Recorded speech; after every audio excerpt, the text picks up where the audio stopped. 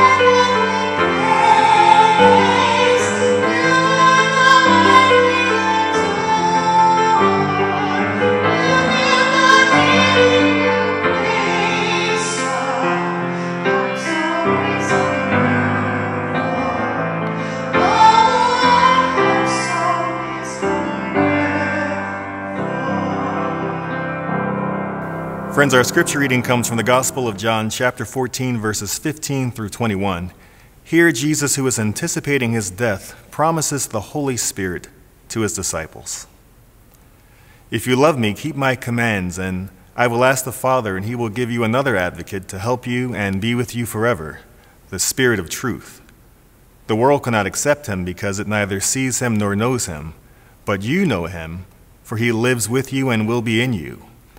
I will not leave you as orphans. I will come to you. Before long, the world will not see me anymore, but you will see me. Because I live, you also will live. On that day, you will realize that I am in the Father, and you are in me, and I am in you. Whoever has my commands and keeps them is the one who loves me. The one who loves me will be loved by my Father, and I too will love them and show myself to them. This is God's word for God's people. Thanks be to God. Let us pray. Holy God, source of all creation, maker of the world and everything in it, you are never far from each one of us. We come into your house seeking you, O giver of life and breath. Reveal yourself to us, dwell with us, and abide in us. We live because you live. We hope because of you. In the name of Jesus Christ, in whom we live, and the Spirit of truth who abides in us. Amen. I will never abandon you. At some point, we all want or need to hear those words. They speak directly to some of our greatest fears abandonment, isolation, loneliness, and vulnerability. They remind us that we are not destined to walk this earth without identity or direction. We don't walk alone. Undoubtedly, seasons of life, moments, transitions, changes, and tragedies can leave us feeling as orphans. Whether spoken or unspoken, the question begins What will I do now? Where do I go? What happens next? Who will love, nurture, and guide me? Who stands on my side? What will become of me? These are the orphan's questions. Those are the questions I imagine running through the heads and hearts of the disciples in today's gospel. It's the Last Supper. Disciples have been fed, feet have been washed, the betrayer has left. It's night, and Jesus announces he is leaving. The one for whom they left everything now says he is leaving. We do not know where you are going. How can we know the way? Show us the Father. More orphan questions. What will we do? What will happen to us? The feeling of being an orphan is real. Certainly, the orphan's questions are buried deep within the death and destruction that recently raged through Beirut, Lebanon. And I'm sure they must be asking questions. Are we left alone? Are we nothing but content for the evening news? How do we move forward and rebuild? Who will go with us? What's next for us? Anyone who has ever lost someone, uh, lost a loved one, a spouse, a child, a friend, security, or hope knows the orphan's questions. We fear becoming orphaned, abandoned. That fear points to the deeper reality that by ourselves we are not enough. It's not, however, because we are deficient. It is rather because we were never intended or created to be self sufficient. We were never intended to stand alone as individuals. We were created to love and to be loved, to live in relationship as persons giving themselves to each other, to abide, to remain within each other, even as the Father is in Jesus and Jesus is in the Father. The opposite of being orphaned, the opposite of being abandoned. I will not leave you orphaned. That is the promise. Regardless of the circumstances of our lives, we have never been and will never be abandoned by God. How strange that must have sounded to the disciples. In the same conversation, Jesus tells them that he is leaving and coming. Leaving and coming sound like opposites. But don't try to figure it out. It's not something to try to figure out. It's a call to see things differently and to live in a different way. How many times, for example, have you told your loved ones who may live far from you, even though we are apart, I will never leave you? Leaving and coming, presence and absence. These must be held in tension, not as mutually exclusive. That is what Jesus has set before us in today's gospel that tension confronts us with the question of whether Jesus for us is a past memory or a present reality, a sentimental story that makes us feel good, or a living experience that challenges guides, and nurtures our life. According to Jesus, the answer to that question is determined by love that is revealed and fulfilled in keeping his commandments. The commandment to love our neighbor as ourselves to love our enemies, to love the Lord our God with all our heart, soul, mind, and strength. Whose feet do we wash and whose feet do we ignore? What are the boundaries of love? Do we keep the commandment? Is our love growing, expanding, transformative of ourselves and the world? If so, Jesus is probably a reality for us, and we have experienced his promise that we are not left orphaned. We are not abandoned. We are not alone. If, however, we are not loving so much, if we build our fences taller and we isolate ourselves, then we consign ourselves and one another to the orphanages of this world. However, the promise of Jesus is still true. He remains faithful. We have simply not claimed that promise for ourselves. Keeping the commandment to love is our access to Jesus' promise that we will not be left orphaned. Keeping the commandments does not make Jesus present to us, it makes us present to the already ongoing reality of Jesus' presence. The commandments do not earn us Jesus' love, they reveal our love for Him, a love that originates in His abiding love and presence within us. Every time we expand the boundaries of our love, we push back the orphanages of this world, creating space within us where the Father and Jesus make their home. I will not leave you orphaned. Regardless of what is happening in our lives, from day to day, that is the promise of Jesus. We have not been abandoned. Do not abandon yourselves or others to the orphanages of this world. Love with all that you are and all that you have, even as the Father and Jesus love us with all that they are and all that they have. Let us pray. Loving and nurturing God, we thank you that Christ died for our sins and rose again to give us new life. We cannot love as Christ loves in our own strength, but only as we submit to the work of your Holy Spirit, only as we walk in spirit and in truth. May the love of Christ flow through us to others so that Christ's love is seen in us. Teach us to know and understand what it means to simply rest in you. May we abide in you. Guard us and reveal more of yourself to us. We thank you for sending your Holy Spirit to be with us always.